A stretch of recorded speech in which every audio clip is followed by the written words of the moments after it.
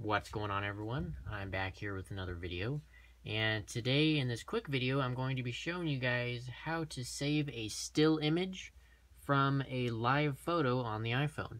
Uh, this will work on both the iPhone 6s as well as the iPhone SE which I have here. So the process in doing this is very very simple.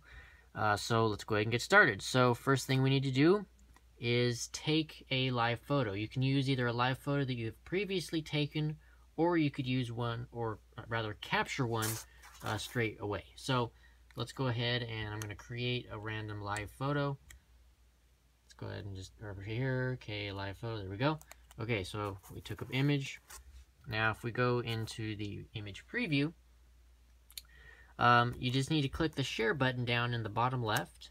Click that and you'll see this button here called duplicate.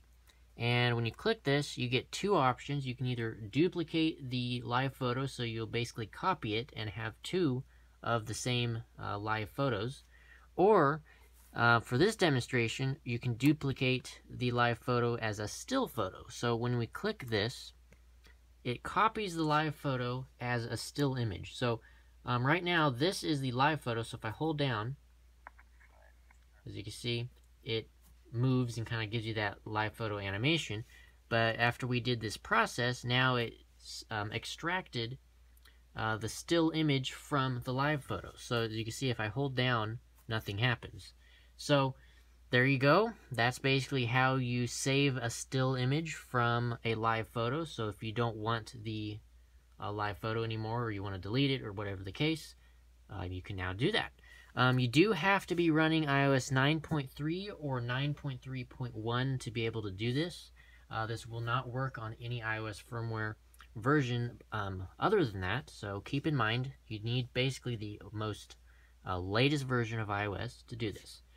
But anyway, that is how you uh, take a still image from a live photo. Hope you guys have enjoyed this video. Uh, make sure to hit the subscribe button right down below. It's much, much appreciated.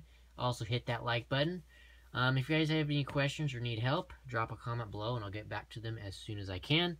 Uh, yeah, but with that being said, once again, hope you guys have enjoyed this video, and I will see you guys in the next one. Peace out.